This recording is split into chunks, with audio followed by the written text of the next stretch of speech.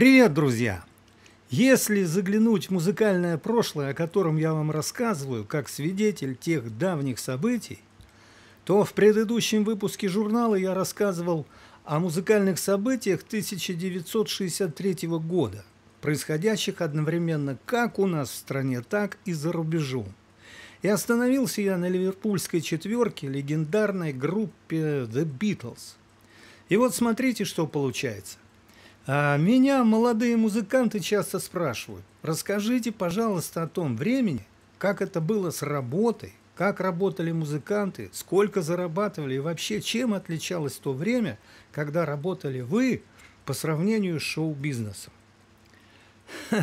Знаете, друзья, это ведь за 10 минут не расскажешь. Поэтому мне придется рассказать о том, что я сам прошел в 60-х, 70-х, 80-х годах прошлого столетия. Ну, а, начну я, пожалуй, с художественной самодеятельности. В те годы художественная самодеятельность была практически на всех предприятиях, а в Советском Союзе было очень много заводов и фабрик. Масштабы этого народного искусства были огромными а уровень некоторых коллективов был профессиональным. В чем причина, почему все это так было? Да потому что дирекция предприятий помогала всячески артистам.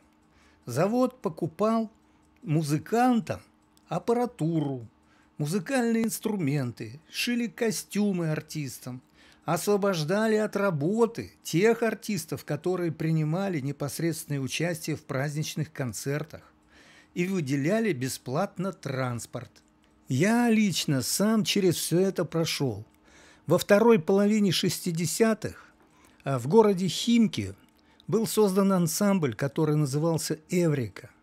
И я с самого начала до самого конца, вот с 67 по 73 год, начинал в качестве музыкального руководителя, а затем уже был художественным руководителем этого замечательного коллектива. Скажу только, что в 1968 году мы стали дипломантами Московского джазового фестиваля, где жюри возглавлял э, Леонид Осипович Утесов. А в 1970 году мы стали лауреатами Москвы и Московской области всесоюзного телевизионного конкурса «Алло, мы ищем таланты».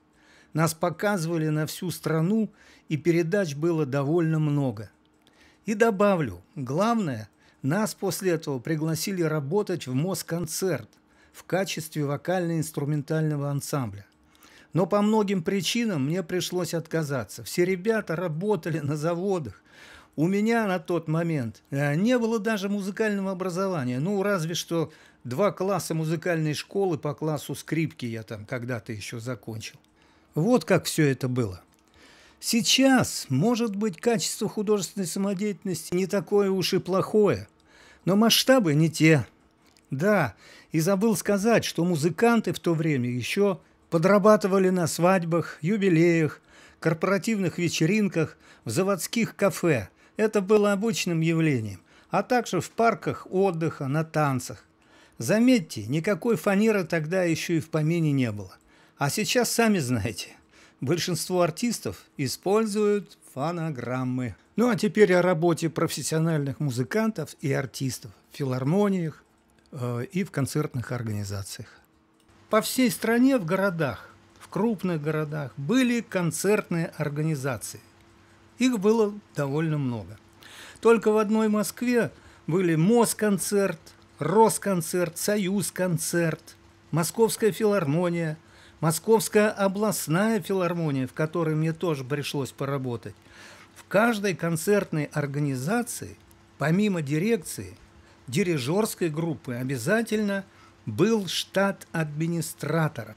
И вот, внимание всем, первое глобальное отличие в развитии концертной деятельности в то время и сейчас.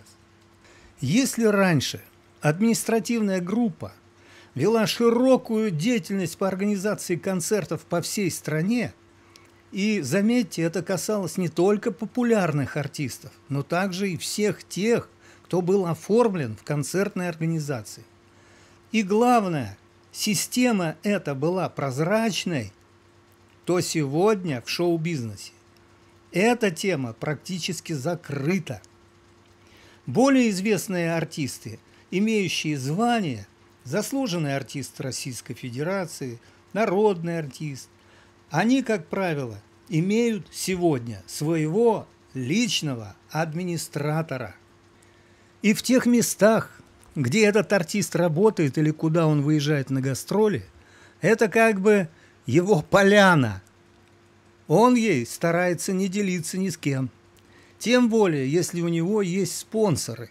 О них молчок, потому что деньги перетекают на его счет. Вот почему в начале 90-х у нас появились так называемые частные театры. Театр Рюминой, театр Калягина и так далее, а также у популярных певцов и даже клоунов. А фамилии я их называть не буду, чисто из этических соображений. Короче, это те самые структуры, которые существуют благодаря спонсорской поддержке. А уже внутри этих структур художественный руководитель, тот самый знаменитый артист, сам распределяет эти деньги. Разумеется, что-то они зарабатывают, кроме всего прочего, еще и на концертах. Но механизм распределения заработанных средств на концертах тоже теневой. Причем проводить концерты, разумеется, администрации городов разрешает далеко не каждому. Это зависит от многих факторов, и догадаться несложно, от каких именно. То есть раньше была, ну как бы мощная кровеносная система взаимосвязей артистов и концертов по всей стране. И она благоприятно влияла на развитие концертной деятельности. А теперь о музыкантах. Сегодня, к сожалению, огромное количество музыкантов, я бы сказал, большая их часть, работает в ночных клубах, в крупных городах и в ресторанах. Раньше тоже так было, но раньше для рядовых музыкантов была перспектива роста. Если вы не имели никакого музыкального образования, то филармония, ваша ставка была 7 рублей 50 копеек. А норма концертов на гастролях – это приблизительно 30-40 концертов в месяц. Ну, по два в день. И плюс платили еще суточные. Это 3 рубля 50 копеек в сутки. А бесплатный проезд, бесплатное проживание в гостинице. И если прикинуть, то самый малооплачиваемый музыкант, он получал где-то в среднем в месяц, ну, как минимум рублей 400. Согласитесь, это уже были деньги. А это был самый-самый минимум. По тем временам, если сравнить с сегодняшним днем, а, я могу сказать, что э, тогда зарплата инженера приравнивалась к 120 рублям в месяц. Это по покупательной способности сегодня приблизительно 30 тысяч рублей. Никак не меньше. И получается, что вот эти вот 400 рублей в месяц малооплачиваемого музыканта, а это сегодня приблизительно 80 тысяч рублей. Вот столько должен получать самый обыденный музыкант среднего уровня, начинающий музыкант в ансамбле в филармонии. И я не сказал о главном, то, что работы было очень много – это все было гарантировано филармонией или концертной организацией.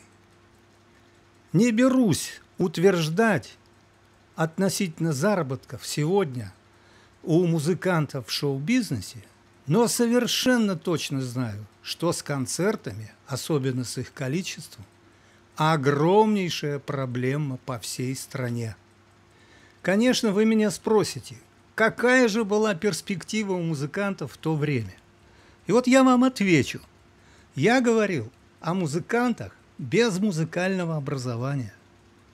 Если же приходил в филармонию и оформился музыкант э, со средним образованием, то есть он закончил музыкальное училище, то у него уже ставка была повыше. Ему уже платили 9 рублей с концерта. И понятное дело – Это была заинтересованность, прямая заинтересованность учиться, учиться музыке на определенном уже достаточно профессиональном уровне. Я уже не говорю о консерватории. Я сейчас точно не помню. По-моему, было 12.50, что ли, с концерта. И теперь давайте поговорим о репертуаре. Безусловно, во всех концертных организациях были худсоветы, которые следили за репертуаром тех или иных исполнителей. Партийная цензура самым тщательным образом следила и проверяла все то, что исполнялось на концертных площадках всей страны. В Советском Союзе было запрещено исполнять песни на английском языке, песни в стиле блатняк. Обратите внимание, я не называю в стиле шансон, потому что наш шансон – это и есть блатняк.